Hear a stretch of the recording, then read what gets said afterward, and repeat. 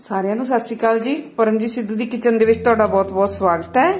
ਅੱਜ ਆਪਾਂ ਬਣਾਵਾਂਗੇ ਪਨੀਰ ਤੋਂ ਕਲਾਕੰਦ, ਜਿਹੜੀ ਕਿ ਬਹੁਤ ਟੇਸਟੀ ਬਣਦੀ ਹੈ ਤੇ ਬਾਲੀ ਦੇਰ ਜ਼ਿਆਦਾ ਦੁੱਧ ਵੀ ਨਹੀਂ ਕਾੜਨਾ ਪੈਂਦਾਗਾ ਥੋੜਾ ਜਿਹਾ ਦੁੱਧ ਦੇ ਨਾਲ ਹੀ ਆਪਾਂ ਪਨੀਰ ਤੋਂ ਬਣਾਵਾਂਗੇ ਕਲਾਕੰਦ। ਆਓ ਫਿਰ ਵੇਖੀ ਆਪਾਂ ਇਹਦੇ ਵਾਸਤੇ ਆਪਾਂ ਨੂੰ ਕੀ ਕੀ ਸਮਾਨ ਚਾਹੀਦਾ 250 ਦੇ ਨੇੜੇ ਤੇੜ ਹੈਗਾ ਆਪਣਾ ਪਨੀਰ, ਜਿਹੜਾ ਮੈਂ ਘਰੇ ਬਣਾਇਆ ਸੀਗਾ। ਤੇ ਉਹਦੇ ਵਿੱਚ 100 150 ਗ੍ਰਾਮ ਪਾਵਾਂਗੇ ਆਪਾਂ ਚੀਨੀ। ਤੇ ਲੀਟਰ ਕ ਦੇ ਨੇੜ ਮੈਂ ਦੁੱਧ ਲੈ ਲਿਆ ਤੇ 2 ਚਮਚ ਘਿਓ ਲਿਆ ਬਾਈਂਡਿੰਗ ਵਾਸਤੇ, ਪੰਜ ਛੋਟੀਆਂ ਇਲਾਇਚੀਆਂ ਲਈਆਂ ਫਲੇਵਰ ਵਾਸਤੇ ਤੇ ਥੋੜੇ ਜਿਹੇ ਆਪਾਂ ਬਦਾਮ ਲੈ ਕੇ ਤੇ ਉਹਨਾਂ ਨੂੰ ਬਿਲਕੁਲ ਬਰੀਕ ਬਰੀਕ ਕਟਿੰਗ ਕਰ ਲਿਆ ਸੀ ਉੱਪਰੋਂ ਗਾਰਨਿਸ਼ ਕਰਨ ਵਾਸਤੇ। ਤਾਂ ਸਭ ਤੋਂ ਪਹਿਲਾਂ ਆਪਾਂ ਜਿਹੜਾ ਦੁੱਧ ਹੈ, ਉਹਨੂੰ ਆਪਾਂ ਚੁੱਲ੍ਹੇ ਤੇ ਭਾਂਡੇ 'ਚ ਪਾ ਕੇ ਤੇ ਉਬਲਣਾ ਰੱਖਾਂਗੇ। ਸਭ ਤੋਂ ਪਹਿਲਾਂ ਆਪਾਂ ਗੈਸ ਲਾ ਕੇ ਕੜਾਈ ਰੱਖ ਕੇ ਤੇ ਵਿੱਚ ਜਿਹੜਾ ਆਪਣੇ ਕੋਲ 1 ਲੀਟਰ ਦੁੱਧ ਹੈ, ਉਹ ਪਾ ਦਾਂਗੇ।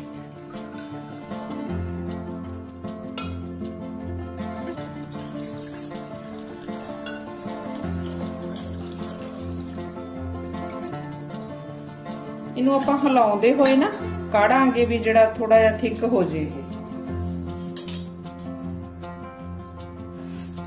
ਜਿੰਨੇ ਕੋਲੋਂ ਆਪਣਾ ਦੁੱਧ ਕੱਢਦਾ ਤਾਂ ਉਹਨੇ ਨੂੰ ਕੋਲੋਂ ਆਪਾਂ ਜਿਹੜਾ ਪਨੀਰ ਹੈ, ਉਹ ਆਪਾਂ ਕੱਦੂਕਸ ਕਰ ਲੈਨੇ ਆ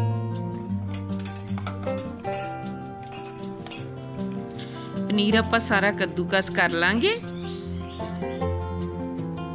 ਕੋਲੋਂ ਆਪਣਾ ਦੁੱਧ ਹੈ ਜਿਹੜਾ ਉਹ ਫੁੱਲ ਫਲੇਮ ਤੇ ਕੱਢ ਰਿਹਾ ਹੈ। ਵਿੱਚ ਵਿੱਚ ਦੀ ਦੁੱਧ ਨੂੰ ਆਪਾਂ ਹਿਲਾਉਂਦੇ ਰਵਾਂਗੇ, ਜਿਹੜਾ ਕਿ ਕੜਾਈ ਦੇ ਆਪਣਾ ਥੱਲੇ ਨਾ ਲੱਗ ਜਵੇ ਦੁੱਧ। ਸਾਈਡਾਂ ਤੋਂ ਲਾਉਂਦੇ ਰਵਾਂਗੇ ਤੇ ਪੂਰੀ ਤਰ੍ਹਾਂ ਹਿਲਾਉਂਦੇ ਰਵਾਂਗੇ। ਇਸ ਤਰ੍ਹਾਂ ਹਿਲਾਉਂਦੇ ਹਿਲਾਉਂਦੇ ਦੁੱਧ ਨੂੰ ਆਪਾਂ ਥੋੜਾ ਥਿਕ ਕਰ ਲਵਾਂਗੇ। ਨਾਲੇ ਕਾੜਦੇ ਜਾਵਾਂਗੇ, ਨਾਲੇ ਜੋ ਸਾਈਡਾਂ ਤੇ ਲੱਗ ਜਾਂਦਾ ਉਹਨੂੰ ਨਾਲ ਦੀ ਨਾਲ ਖੁਰਚਣੇ ਨਾਲ ਆਪਾਂ ਉਤਾਰਦੇ ਵੀ ਜਾਵਾਂਗੇ। ਇਸ ਤਰ੍ਹਾਂ ਕੱਢਦਿਆਂ ਕੱਢਦਿਆਂ ਜਦੋਂ ਆਪਣਾ ਦੁੱਧ ਇੱਕ ਚੌਥਾਈ ਹਿੱਸਾ ਰਹਿ ਜੇ, ਮਤਲਬ ਕਿ ਡੇਢ ਕਪਾ ਰਹਿ ਜਾਵੇ ਜਦੋਂ ਆਪਣਾ ਦੁੱਧ, ਤਾਂ ਉਦੋਂ ਫਿਰ ਆਪਾਂ ਵੇਖੋ, ਹੁਣ ਕਿੰਨਾ ਸੰਘਣਾ ਜਿਹਾ ਹੋ ਗਿਆ ਨਾ ਖੋਏ ਵਾਂਗੂ, ਤਾਂ ਇਹਦੇ ਵਿੱਚ ਹੁਣ ਆਪਾਂ ਇਸ ਸਟੇਜ ਤੇ ਪਾਵਾਂਗੇ ਜੀ, ਜੋ ਆਪਾਂ ਪਨੀਰ ਕੱਦੂਕਸ ਕੀਤਾ ਸੀਗਾ। ਪਨੀਰ ਪਾ ਕੇ ਇਹਨੂੰ ਚੰਗੀ ਤਰ੍ਹਾਂ ਆਪਾਂ ਮਿਕਸ ਕਰ ਲਾਂਗੇ। ਹਲਾਉਂਦੇ ਹੋਏ ਫਿਰ ਪਕਾਵਾਂਗੇ। ਨਾਲ ਹੀ ਆਪਾਂ ਜਿਹੜੀ ਇਹ ਚੀਨੀ ਹੈ ਆਪਣੇ ਕੋਲੇ, ਉਹ ਪਾ ਦਾਂਗੇ। ਦੇਸੀ ਘਿਓ ਪਾ ਦਾਂਗੇ ਉੱਤੇ। ਦੇਸੀ ਘਿਓ ਹੈ ਜਿਹੜਾ ਇਹਨੂੰ ਬਾਈਂਡਿੰਗ ਕਰਨ ਦੇ ਕੰਮ ਆਊਗਾ, ਮਤਲਬ ਕਿ ਜਿਹੜੇ ਇਹਨੂੰ ਪਨੀਰ ਨੂੰ ਦੇਸੀ ਘਿਓ ਤੇ ਜਿਹੜਾ ਕਾੜਿਆ ਹੋਇਆ ਦੁੱਧ ਹੈ, ਇਹ ਖੋਏ ਵਾਲਾ, ਇਹ ਆ ਮਿਲ ਕੇ ਤੇ ਇਹਦੀ ਬਾਈਂਡਿੰਗ ਦਾ ਕੰਮ ਕਰਨਗੇ। ਜਦੋਂ ਇਹਨਾਂ ਦੇ ਵਿੱਚ ਥੋੜਾ ਪਨੀਰ ਪੱਕ ਜਾਊਗਾ, ਤਾਂ ਫਿਰ ਇਸ ਤਰ੍ਹਾਂ ਪਨੀਰ ਖੁਸ਼ਕ ਜਿਹਾ ਨਹੀਂ ਰਹਿ ਜਾਊਗਾ। ਵੇਖੋ ਦਾਣੇਦਾਰ ਜਿਹਾ ਹੋ ਗਿਆ ਨਾ, ਜਿੰਨੇ ਨੂੰ ਇਹ ਕੱਢ ਰਹੇ ਆ ਕੋਲੋਂ ਜਿਹੜੀਆਂ ਆਪਣੇ ਕੋਲ ਪੰਜ ਲਾਚੀਆਂ ਸੀ, ਉਹਨਾਂ ਦਾ ਆਪਾਂ ਕੁੱਟ ਕੇ ਤੇ ਪਾਊਡਰ ਬਣਾ ਲਾਂਗੇ। ਵਿੱਚ ਵਿੱਚ ਦੀ ਉਧਰੋਂ ਵੀ ਹਿਲਾਉਂਦੇ ਰਵਾਂਗੇ ਆਪਣਾ। ਖੋਆ ਵੀ ਵੀ ਥੱਲੇ ਨਾ ਲੱਗ ਜੇ। ਹੁਣ ਇਹ ਪਾਊਡਰ ਵੀ ਵਿੱਚ ਮਿਕਸ ਕਰ ਲਾਂਗੇ, ਇਲਾਇਚੀ ਪਾਊਡਰ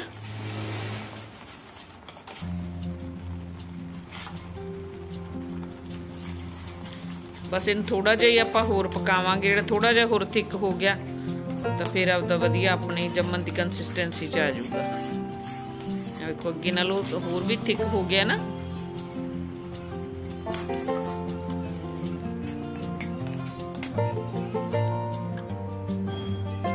ਕੋਲੋਂ ਆਪਾਂ ਇੱਕ ਕੋਈ ਵੀ ਬਰਫੀ ਵਾਲੀ ਟਰੇ ਲੈ ਲਓ ਜਾਂ ਕਿ ਕੋਈ ਪਲੇਟ ਲੈ ਲਓ, ਉਹਦੇ 'ਚ ਥੋੜਾ ਜਿਹਾ ਘਿਓ ਲਾ ਕੇ, ਦੇਸੀ ਘਿਓ ਲਾ ਕੇ ਤੇ ਉਹਦੇ ਵਿੱਚ ਆਪਾਂ ਜਿਹੜਾ ਮਿਕਸਚਰ ਹੈ, ਇਹ ਬਣਿਆ ਆਪਣੇ ਕੋਲੇ। ਪਨੀਰ ਦਾ ਤੇ ਦੁੱਧ ਘਿਓ ਦਾ ਖੋਆ ਜਿਹੜਾ ਬਣਿਆ, ਉਹ ਆਪਾਂ ਇਸ ਟਰੇ ਦੇ ਵਿੱਚ ਪਾ ਲਾਂਗੇ।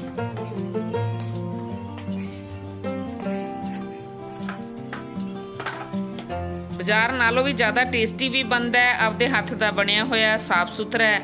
ਬਾਕੀ ਆਪਾਂ ਨੂੰ ਪਤਾ ਹੈ ਆਪਾਂ ਕੀ ਕੁਝ ਪਾਇਆ, ਕੀ ਨਹੀਂ। ਬਾਜ਼ਾਰ ਨਾਲੋਂ ਜ਼ਿਆਦਾ ਟੇਸਟੀ ਬਣੂਗਾ ਤੇ ਜ਼ਿਆਦਾ ਹੈਲਦੀ ਹੋਊਗਾ। ਉਤੋਂ ਆਪਾਂ ਖੁਰਚਣੇ ਨਾਲ ਹੀ ਐ ਜੀ ਤੈ ਜੀ ਬਾ ਲਾਂਗੇ।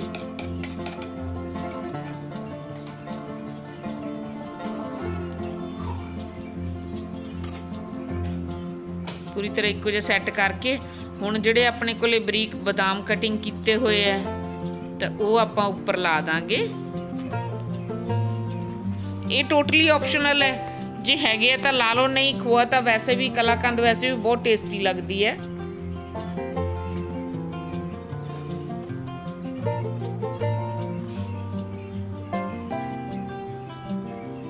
ਬਹੁਤ ਵਧੀਆ ਚੀਜ਼ ਬਣ ਜਾਂਦੀ ਹੈ ਇਹਦੇ ਨਾਲ ਉੱਪਰੋਂ ਥੋੜਾ ਥੋੜਾ ਹਲਕਾ ਹਲਕਾ ਆਪਾਂ ਨਾ ਟੈਪ ਕਰ ਦਾਂਗੇ ਜਿਹੜਾ ਵਿੱਚ ਸੈੱਟ ਹੋ ਜਾਣ ਹੁਣ ਇਹਨੂੰ ਸੈੱਟ ਹੋਣ ਵਾਸਤੇ ਜੇ ਤਾਂ ਸਰਦੀ ਹੈ ਤਾਂ 1 ਘੰਟਾ ਬਾਹਰ ਹੀ ਰੱਖ ਦਿਓ।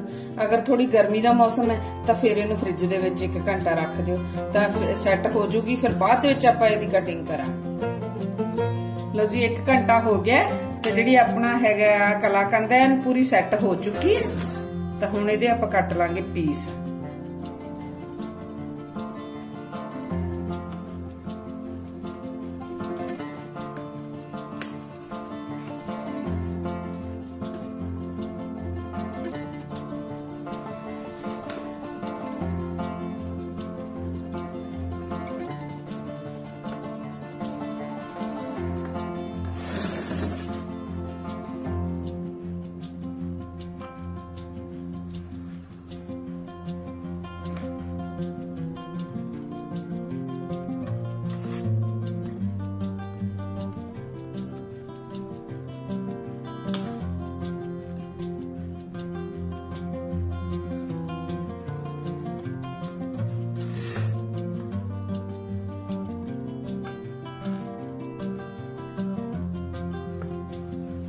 ਬਹੁਤ ਵਧੀਆ ਸੈੱਟ ਹੋਈ ਹੈ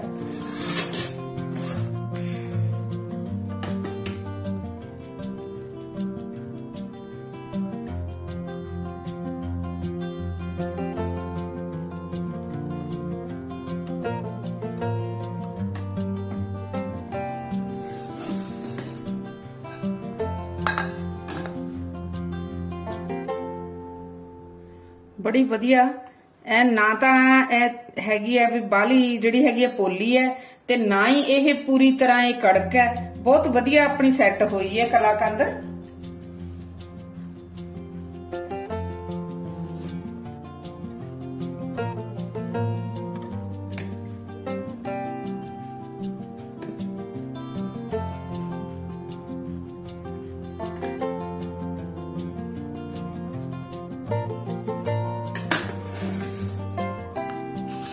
ਲੋ ਜੀ, ਪਨੀਰ ਦੀ ਕਲਾਕੰਦ ਬਣ ਕੇ ਆਪਣੇ ਕੋਲੇ ਰੈਡੀ ਹੈ।